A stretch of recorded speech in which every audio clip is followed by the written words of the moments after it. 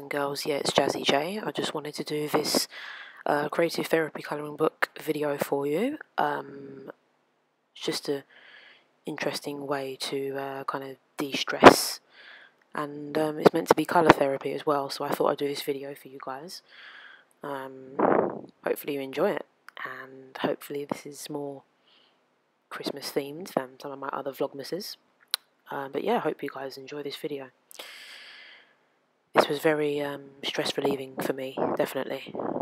For any uh, for any other adults considering getting a um, like uh, color therapy anti-stress adult colouring book, you definitely should.